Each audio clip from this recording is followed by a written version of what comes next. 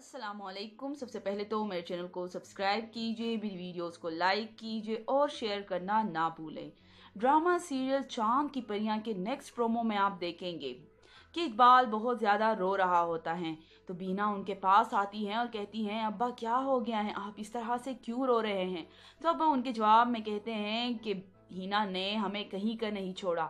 اس نے ہماری عزت ملیا میٹ کر دی۔ اس نے ہمیں کہیں کا نہیں چھوڑا۔ تو دوسری جانب دکھایا جاتا ہے کہ بینا رافع بھائی سے کہہ رہی ہوتی ہیں کہ رافع بھائی، آپ اپنی اماں کی بات مان لیں اور شادی کر لے آپ ہینا آپی کا انتظار نہ کرے لیکن رافع کہتا ہے کہ میں ہینا کا ہی انتظار کروں گا۔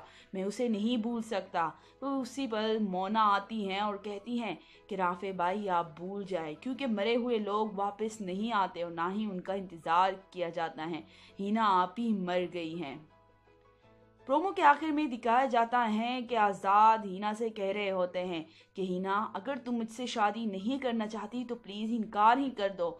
لیکن ایک دفعہ بول تو دو، میں تم سے شادی کرنا چاہتا ہوں، لیکن میں تمہارے جواب کا منتظر ہوں۔ آپ بھی کمنٹ میں اپنی رائے کر اظہار کرنا نہ بھولیے گا۔ شکریہ۔